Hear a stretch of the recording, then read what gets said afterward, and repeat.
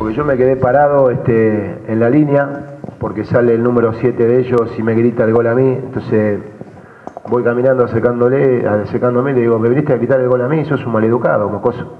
Sos un maleducado, pues yo no le falto el respeto a nadie.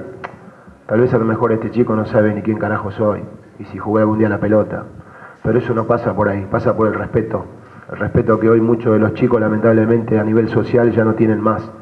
Este, y no, lo que pasó con Facundo, con el técnico de ellos, fue todo, todo favorable. Vino a pedirme disculpas, me dijo que era un loquito de la cabeza, repito lo mismo. El técnico de ellos me dijo, es un loquito de la cabeza. Todos los partidos hace algo raro, estamos cansados de hablarle.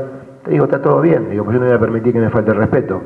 Ahí terminó todo, se pegó la vuelta a Facundo y de repente viene el árbitro y me dice que me tengo que ir. Entonces le digo, que me tengo que ir, ¿por qué?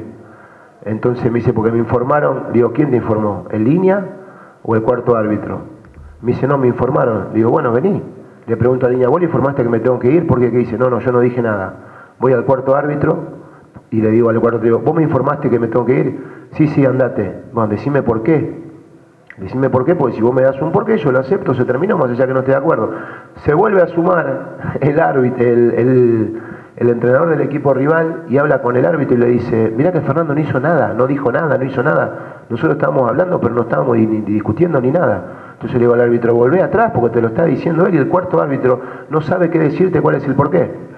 Obviamente, como mandan ellos, más allá de que puedan ser muy malos, como son, en este caso puntual, mandan ellos y, a ver, en definitiva no modifica demasiado que yo me haya ido porque ya no quedaba nada de partido. Lo que sí modificó y lo que sí está muy mal, lo que pasó dentro de la cancha.